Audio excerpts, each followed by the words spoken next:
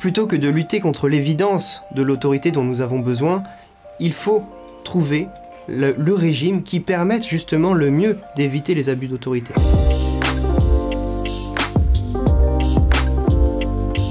Alors, euh, familialement parlant, euh, je viens donc euh, d'une double ascendance. D'abord, ma mère qui vient plutôt d'un milieu de la haute bourgeoisie française, bretonne et vendéenne. Et de l'autre côté, de mon père qui vient plutôt d'un milieu euh, euh, très populaire, prolétaire, du nord de la France. Donc j'ai eu cette double ascendance qui m'a obligé euh, à essayer de trouver en moi une synthèse en fait de ces deux milieux qui souvent sont confrontés dans une espèce de lutte des classes, en tout cas dans, euh, dans le discours politique ambiant. Je me suis beaucoup intéressé à ce moment-là, donc j'étais euh, au lycée à Étienne Chouard qui parlait donc de, la démocratie directe, etc. Et donc j'avais vraiment envie de m'intéresser au sujet, je suis devenu anarchiste. C'est la question justement de l'autorité, la question du pouvoir qui m'a vraiment semblé la plus pertinente, qu'il fallait l'abolir. Et donc je suis rentré dans le mouvement anarchiste.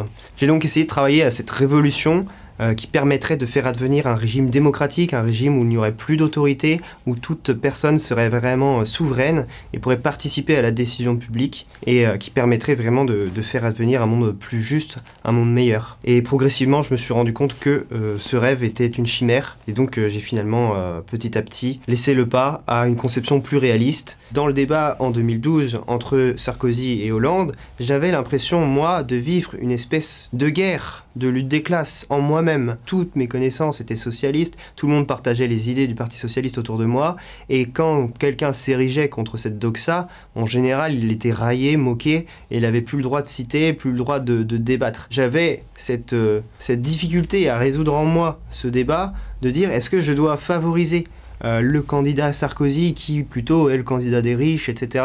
Je comprenais mal le débat, hein, bien sûr. Et en même temps, ce candidat socialiste qui euh, avait cette, euh, cette proximité auprès des pauvres, entre guillemets, ou au moins idéologiquement.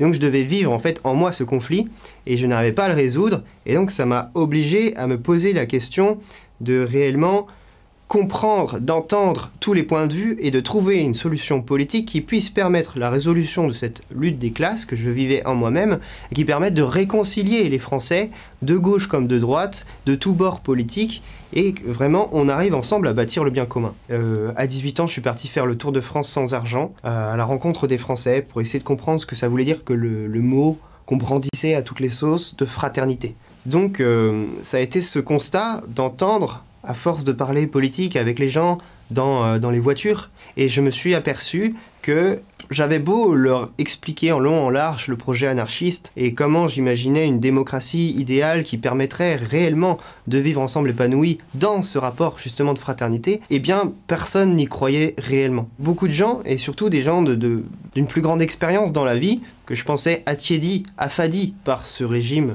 républicain, eh bien finalement me donnaient de bons arguments en fait contre, euh, contre l'anarchie et qui avait besoin, qui exprimait en fait ce besoin d'un cadre, ce besoin d'une autorité aussi qui tranche, qui est capable aussi de, de faire advenir le meilleur de chacun et de poser des limites en fait à ce que le, débat public puisse aussi prospérer dans la bonne direction. Mais la suppression de l'autorité ne semblait pas la meilleure solution pour les gens. Et ensuite, il y a eu une autre prise de conscience. Je me suis aperçu que euh, le principe d'autorité, il est vraiment consubstantiel à la nature humaine. Il y a une négation du principe d'autorité, pourtant l'autorité est toujours là, sous des formes diverses. On va avoir des personnes qui vont se comporter plus ou moins comme des gourous, parce qu'ils n'ont pas d'autorité officiellement, et pourtant, eh bien, ils prennent le pouvoir sur le groupe, un pouvoir psychologique, un pouvoir politique, plus ou moins euh, dévoilé. Il faut trouver le, le régime qui permette justement le mieux d'éviter les abus d'autorité. J'ai constamment fait mes études de philosophie politique à Rennes, qui est une ville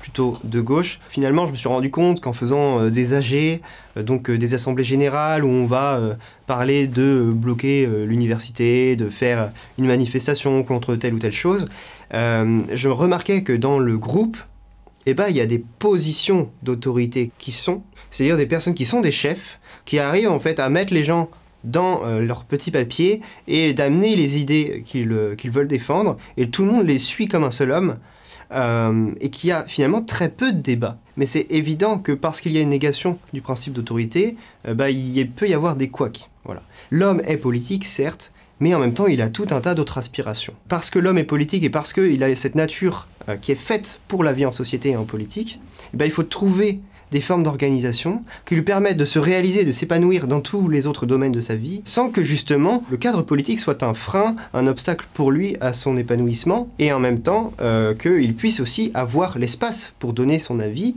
et pour permettre justement que sa réalité soit prise en compte. En fait, j'ai eu cette impression de me confronter à un mur pendant toute la période de mon Tour de France, brandir des grandes idées, des grands systèmes, des choses complètement hors sol qui marchent dans un monde idéal, c'est très mignon, c'est très joli. Euh, et, vraiment, je pense que les gens euh, me trouvaient gentil, en fait, d'arriver avec toutes ces belles idées. C'était qu'un rêve. Et eux étaient trop ancrés dans la réalité pour se soucier de ce genre d'illusion. Quand on s'attaque précisément au principe d'autorité, mais quand on s'attaque aussi au principe de responsabilité et qu'on déresponsabilise les gens, lorsque euh, on, viole le principe de subsidiarité et qu'en fait l'État prend toutes les décisions concernant la vie des gens, concernant leur santé, concernant leur éducation, concernant la répartition de leurs biens, leur héritage, quand en fait l'État prend des décisions sur tous les domaines de la vie humaine, sur leur travail. En fait, les personnes se sentent violées intérieurement, ne peuvent plus croire en la politique et n'ont plus de porte de sortie. Alors que si on récupère toute cette tradition occidentale philosophique, eh bien, on s'aperçoit que c'est ce qui vraiment nous satisfait et nous permettrait de nous épanouir ensemble dans la poursuite du bien commun.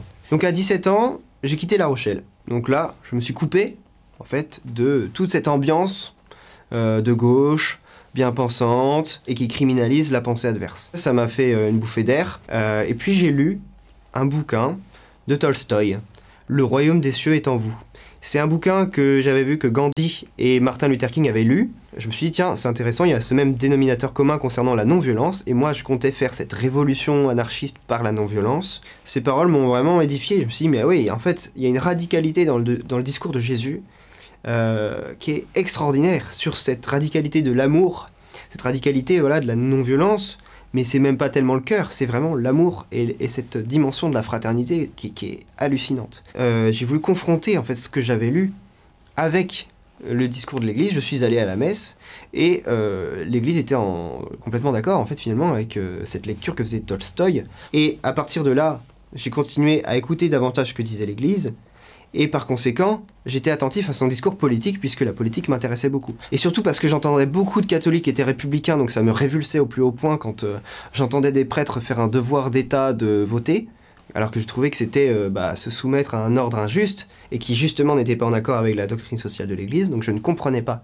en fait cette invitation-là. Donc je restais profondément anarchiste. Et j'étais perdu parce que je me disais, bah mince alors, parce que finalement la, la démocratie aussi elle a des failles. Je me suis dit, bon, je laisse ça de côté, Puisque j'ai fait une description des deux régimes, je vais me pencher sur la question du royalisme, des régimes monarchiques. Parce que j'avais parlé des régimes aristocratiques et de la République, et des régimes démocratiques, comme ceux qu'on peut entendre beaucoup à gauche. Et je me suis dit, bien, peut-être que je peux regarder au-delà et voir aussi les régimes monarchiques. Alors j'ai regardé un peu le bonapartisme, j'ai regardé euh, l'orléanisme, j'ai regardé ce que proposait l'action française, et puis je suis tombé sur la proposition des légitimistes, il y avait ce bon sens de cette redécouverte de la doctrine sociale de l'Église qui vraiment met ce bon sens du droit naturel au cœur, ce principe que le réel est supérieur à l'idée. Alors que je remarquais que dans la pensée légitimiste, il y avait une soumission systématique de la pensée au réel. C'est une autre pensée en fait, complètement autre que celle de la modernité. Alors bien sûr, au début, euh, ma conversion n'a pas été euh, tout à fait bien accueillie par certains membres de ma famille, que ce soit euh, par, par mes amis, surtout par mes amis évidemment. Malgré tout, je garde de très très bons rapports avec mes amis, avec certains anciens camarades. Ils me font sentir que ça les gêne beaucoup, que je sois royaliste, que je sois euh, un vilain facho, un faf, euh, je ne sais quoi d'autre, un nasillard. Mais, euh, mais en réalité, en fait, moi je sais très bien de quoi je, je me réclame, je sais très bien ce pourquoi je travaille. Lorsque on discute, bah, ils s'aperçoivent bien que je ne suis pas un mauvais bougre et que en réalité je cherche le bien commun et que je les inclus dans ma pensée. En réalité, je, cherche une pensée, et je l'ai trouvée, je pense, qui arrive à réconcilier les Français.